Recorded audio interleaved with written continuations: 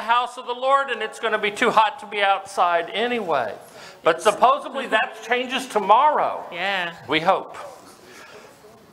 It is, um, I want to thank you all from the bottom of my heart for the stole that Carol made and for the gift card that you all gave me. You all uh, paid for Sherry and I to go see the Chicago Cubs play, and uh, we had a great time on our vacation.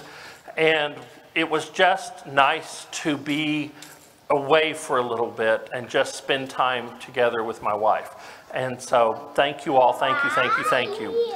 Let us worship our God as we sing together. Christians, we have met to worship, and let's stay seated today.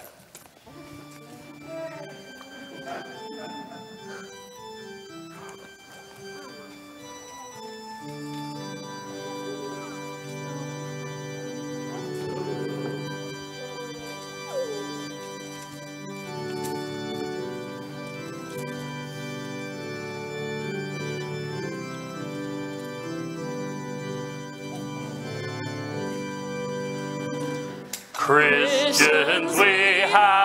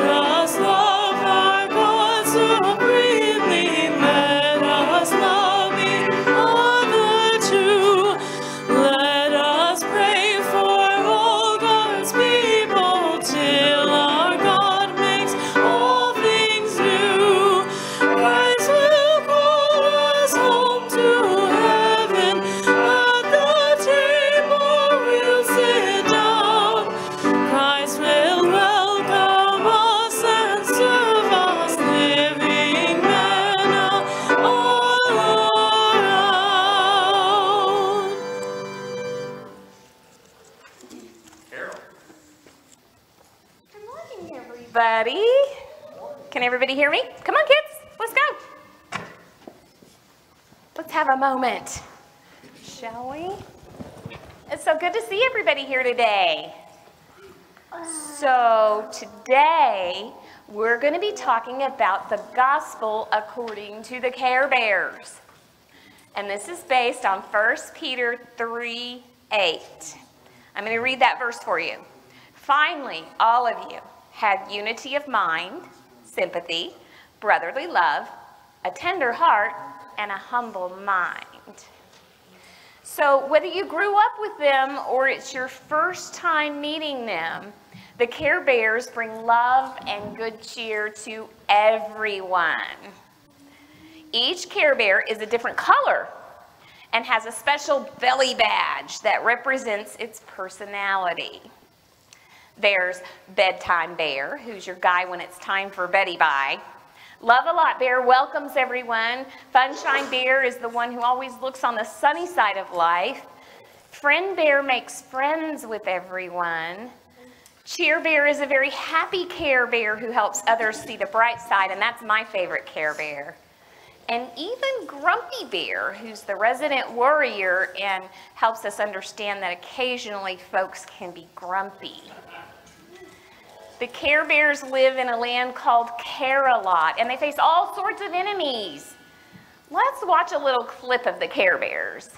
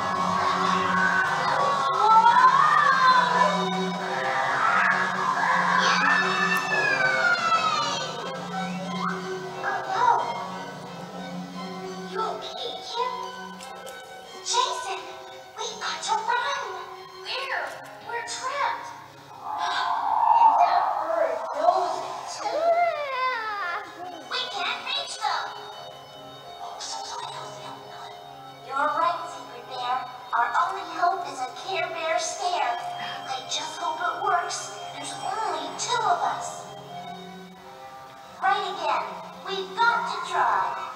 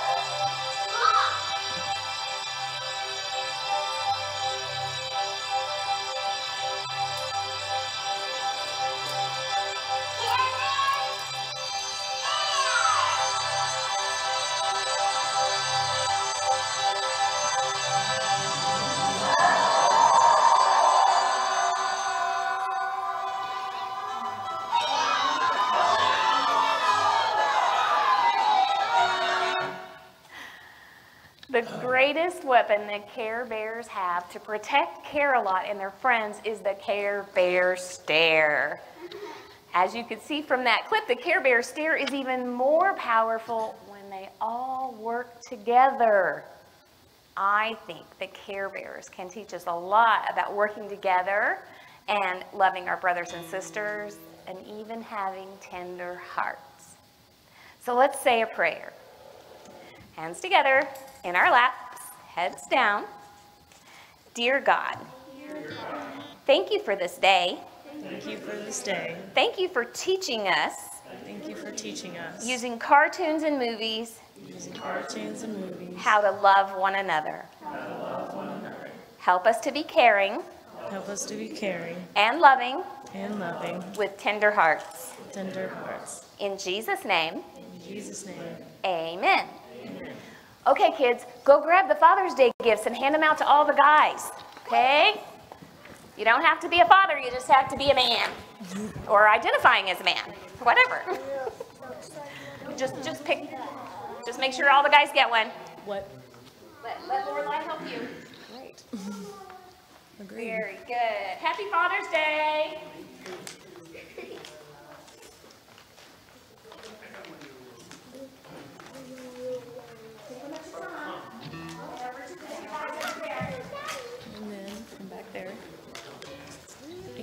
And like, get too after you.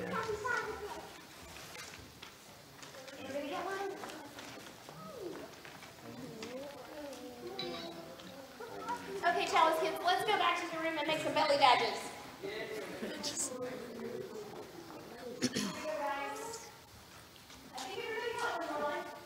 oh, he's one.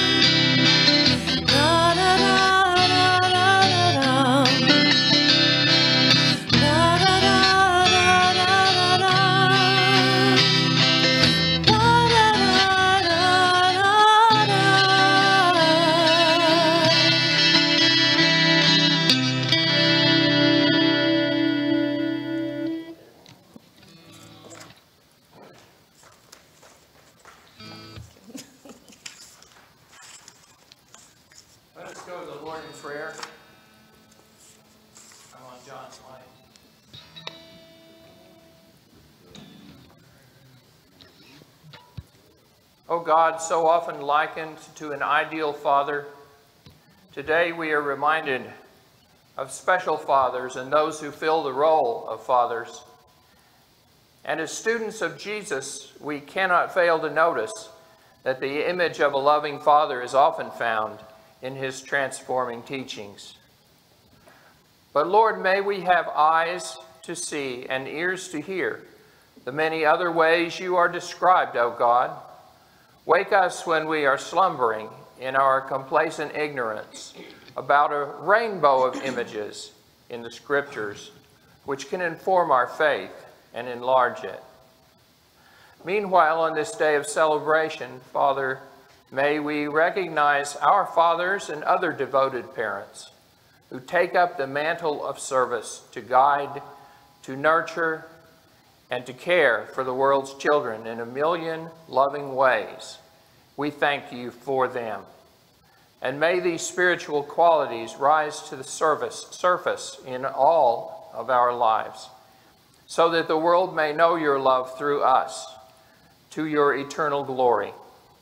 These things we pray through Jesus our Father in faith, as we pray as he taught us, singing together with thanksgiving.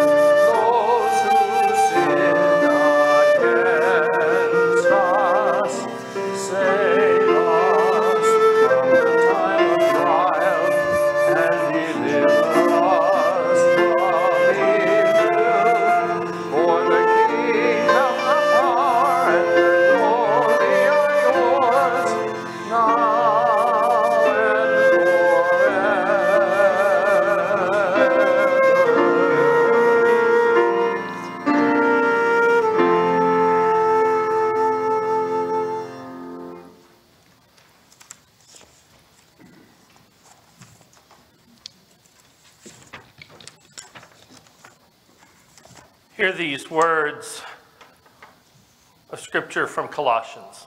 Since you are all set apart by God, made holy and dearly loved, clothe yourselves with a holy way of life, compassion, kindness, humility, gentleness, and patience. Put up with one another. Forgive. Pardon any offenses against one another, as the Lord has pardoned you, because you should act in kind. But above all these things, put on love. Love is the perfect tie that binds these together. The word of the Lord for the people of God. Thanks be to God.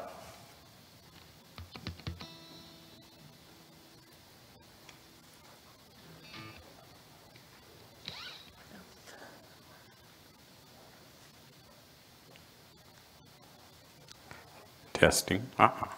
You're on. Right. Okay, uh, before we get started on this, there's a part where there's a chorus. And the first time I'm gonna, you know, sing it through, but the second time I come through, you know, everybody is encouraged. It's, it's real simple, so when you get to it, you'll hear it, and then, you know, we'll go.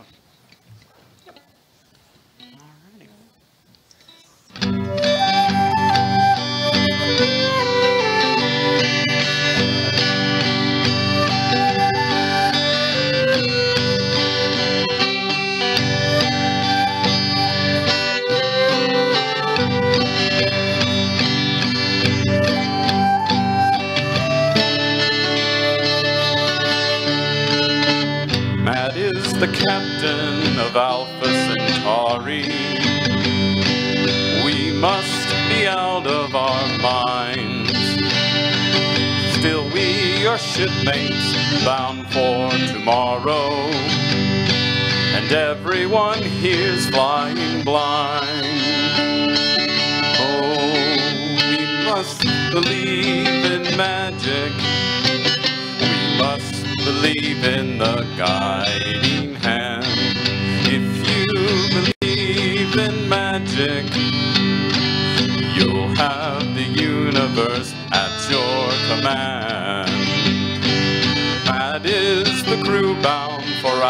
Centauri.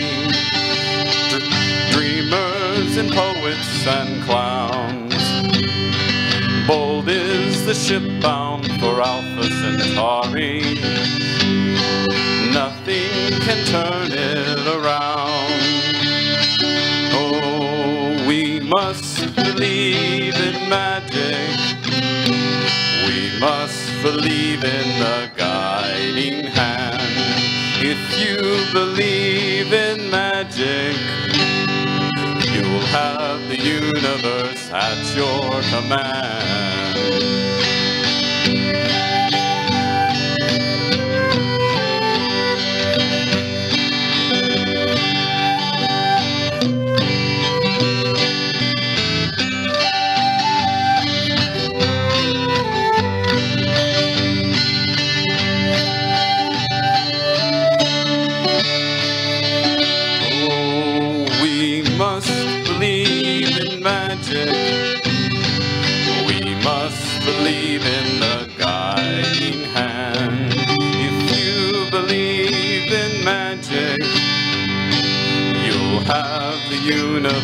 Universe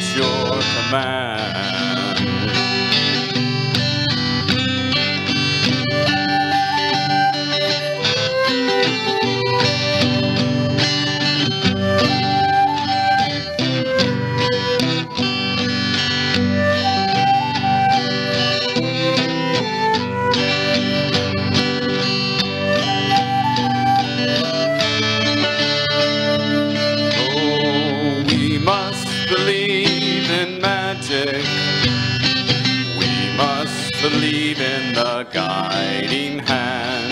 If you believe in magic, you'll have the universe at your command.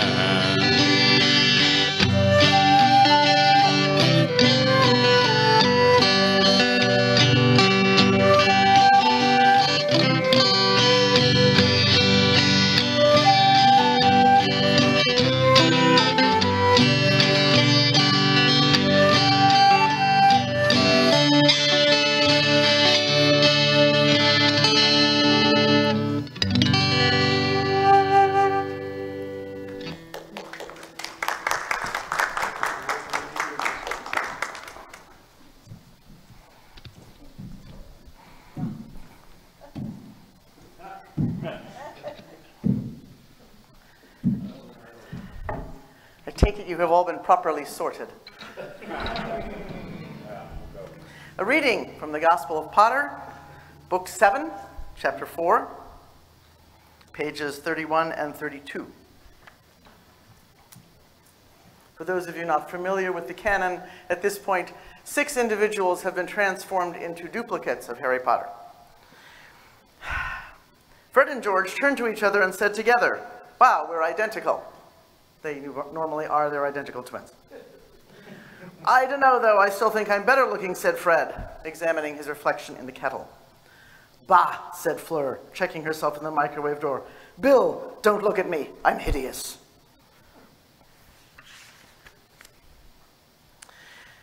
I knew Ginny was lying about that tattoo, said Ron, looking down at his bare chest. Harry, your eyesight is really awful, said Hermione as she put on glasses. Here endeth the reading. Once upon a time, all good magic stories begin that way. Once upon a time, there was a woman who had envisioned an entire world where love was the most important magic you could have. And she wrote these wonderful stories that are, there are more words in the entire canon of Harry Potter than in the Bible, by quite a lot. Um, so, yes, a very prolific wordsmith was Miss Rowling. And she wrote in this story some incredibly interesting things that when you take them out and exegete them as we do with Scripture, clearly indicate a deep understanding of the many different kinds of oppression we face in the world. She has the oppression of those who are racially different, those who are experientially different, those who are behaviorally different, those who are emotionally different. All of those kinds of oppression are there. In the reading I just gave you, she addresses two different attitudes that trans people experience. One of which is, this is not my body and I'm hideous, and the other of which is, this is not my body and I'm going to get rid of it. One of them is very pragmatic. One of them is very self-dam- self-damaging. Many, many healthy trans people move from one to the other as they go through transition. It's an interesting reality that the author herself doesn't always know what she wrote. Sadly, this is the case with many artists. The art that we make, that we give away, once we give it to the audience, it is no longer ours. The audience decides what they see and what they hear in it. Sometimes we as artists fall so deeply in love, not the healthy kind of love, but the possessive, demanding, and abusive love. We fall so in love with our creation that we refuse to let it live in the world, and we demand that it live only the way we say. It can live only the way I want it to. So one of the things that we learn about love from this is that there is healthy love and there is unhealthy love. It is true in this author's history that she experienced a great deal of unhealthy love. And she is still very, very fearful of that. And that is part of what inspires her current, I can only call it transphobia. I, I reject the, the label of TERF from Ms. Rowling. TERF stands for Trans Exclusionary Radical Feminist. I think she is definitely trans exclusionary. I'm not sure she's a feminist, I'll give her that, maybe. She's definitely not radical. So at best, she's a TEF.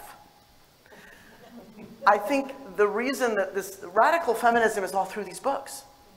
Radical feminism is the bizarre notion that love is not gendered, is not related to gender, does not express itself based on gender. Love is magic all by itself, lives in the universe as its own thing, and inhabits everything. Well, which is it, Miss Rowling? I like the books. I read all seven of them in the last three weeks.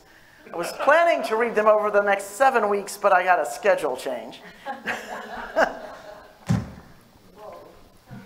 and it's a little bit ironic that we are talking about Harry Potter on Father's Day because he lost his father when he was one and then had a succession of father figures, all of whom die. And at the end of the book, the end of the end of the last book, he is himself a father, trying to help his sons cope with what if the world doesn't go the way I want? What if I don't fit in? What if I'm not the right kind of person? Which is exactly what all of these books are about. The basic magic in these books is the support and love we give to one another as we all face the question of how do I fit? Where do I belong? who am I going to be okay with and who's not going to be okay with me? And is it okay that people are not okay with me? Are there people I can dislike and still deal with? One of the true things that, that is interesting about this book, this one in particular, because when this one came out, four of the movies had already come out. And one of the things that we knew from the previous book is that the great Dumbledore, the great father figure throughout most of these books, first of all, has failings, and secondly, apparently was totally wrong about Professor Snape. I mean, we have learned to dislike Professor Snape for six books and, and, and a whole bunch of movies, and Dumbledore was wrong. He is not to be trusted. He kills Dumbledore. Oh my God. And yet, I myself am an author. I know how to build stories. And I sat there waiting for this book to come out, knowing that that wasn't the truth. There was going to be something else about Snape. I knew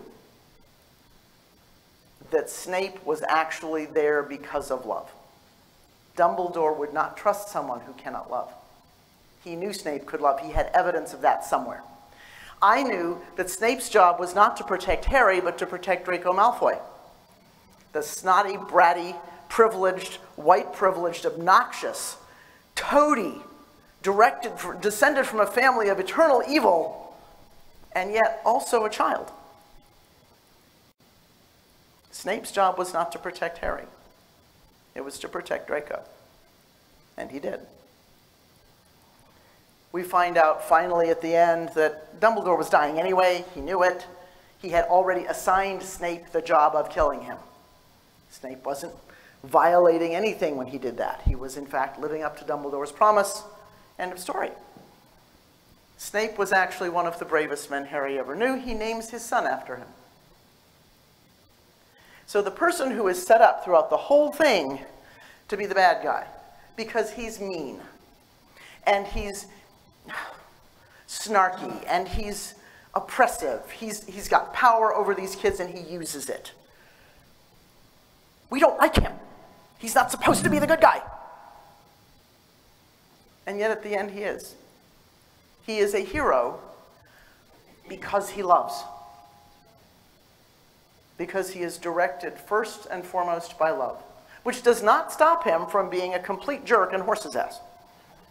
Love does not stop you from being resentful or mean spirited or unfair,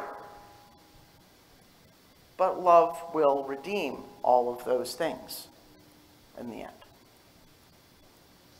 The gospel according to Harry Potter is that without love, nothing can survive and with love, nothing ever really dies. I don't know why it took her so long to say all that.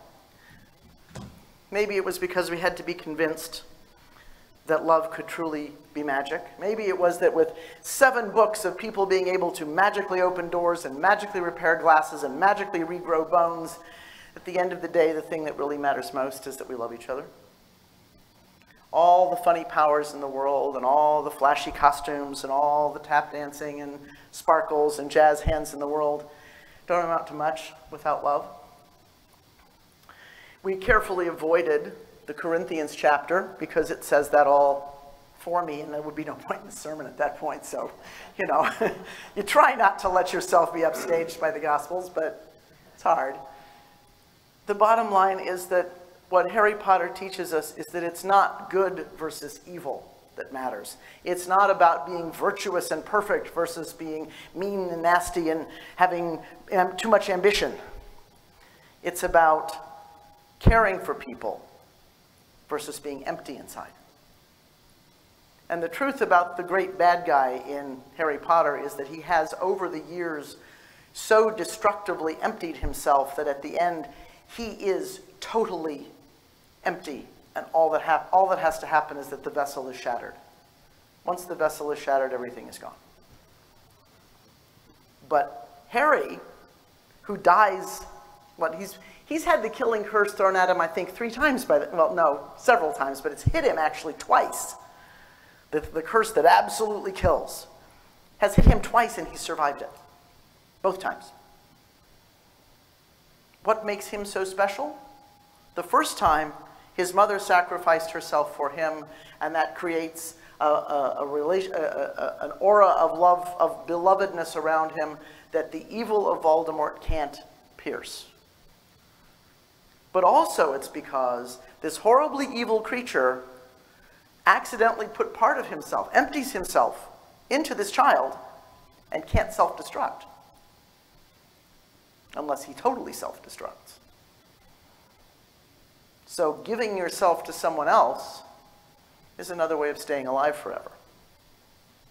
And that's another message in these books. What makes you live forever is what you give to other people. Well, J.K. Rowling has given us some beautiful things in these books. For one thing, she has given us an understanding that you can be transformed into these two women who, who say these things are transformed into a male body with testicles and a penis, and then one of them says, oh my God, I'm hideous, and the other one says, well, this isn't really me, this is you. And boy, do you have bad eyesight. Um, so there's the very practical response to, this is not my body, and there's the very personal response of, ew, I don't look like me, um, this is icky. Um, but she's given us that understanding in here, even though she does not seem to have held on to it herself. That is a sad thing for her. She is very, very frightened of predatory men. And she has. Um, the, the peculiar thing about, about Rowling is that having been part of a predatory relationship, having been part of an abusive marriage, having been part of all these things, she seems to believe that predatory men will go up to a government office, identify themselves, give their address, their, their personal information to the government in order to get a card that says, I'm really a trans woman and I can use women's bathrooms. I can't imagine the kind of predatory man she's talking about ever wanting to identify as a woman. I can't imagine any predator walking up to the government and saying, Hi, give me a permit to be a predator. So she's clearly operating from a place of illogical panic. And so I think, therefore, the best gospel from Harry Potter that I take is that it is necessary to pray for and give a great deal of love to the very damaged soul that is J.K. Rowling. But it is not necessary to support her crap. when she's saying the crappy things, almost every single actor in all the movies has disavowed what she said, although they say, We love Jo, she's a lovely person, but we don't agree with this. This has taught us that you can love people who are despicable. That doesn't mean, no, does not mean you have to like them. It doesn't mean you have to sit with them. It doesn't mean you have to agree with them. But it is still possible to love them. It is possible to love everyone. Amen.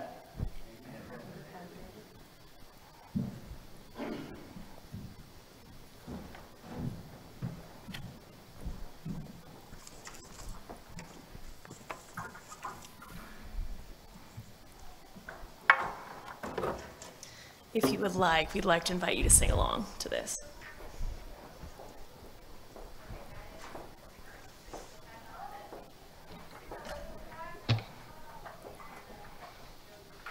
Miss Carol? Miss Carol? I thought you might like to see before I change. I wound up not using them. Yes.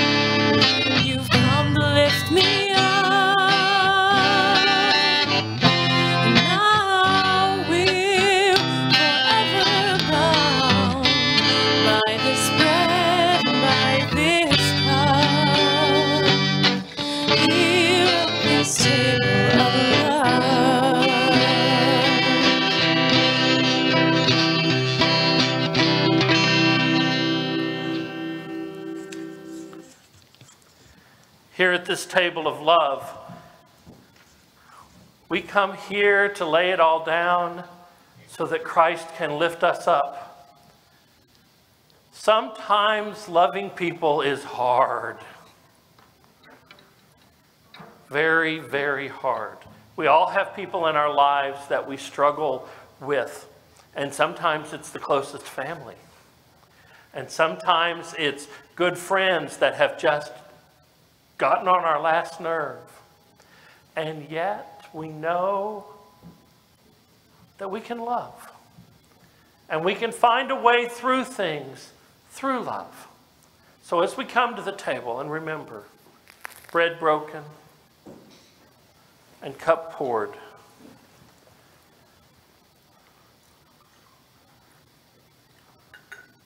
Let us remember that that is our call to love.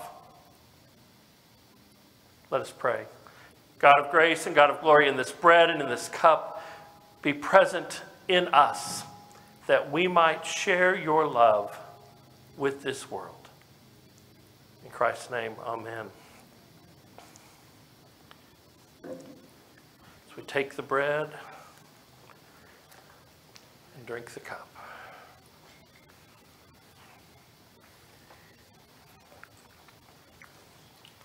I invite, you to spend a little bit of time in prayer. Light a candle.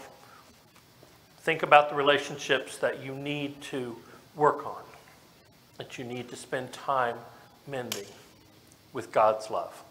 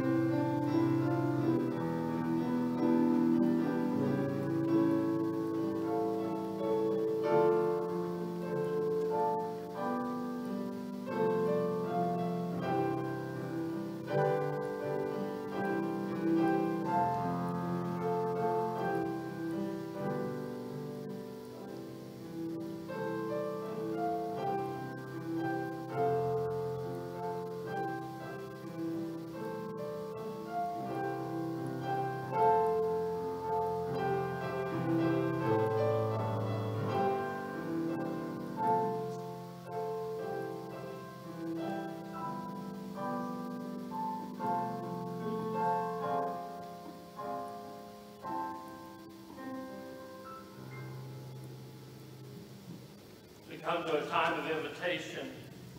We're going to sing a song, I'm going to live so God can use me. Let us find ways this week for God to use us.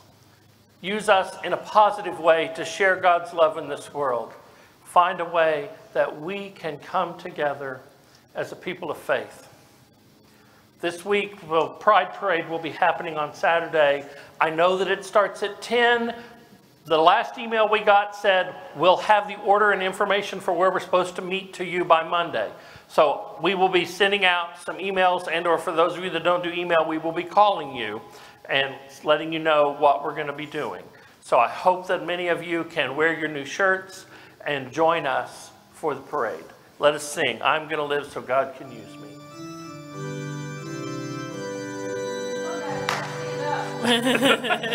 We're going to wake up, right? Get up.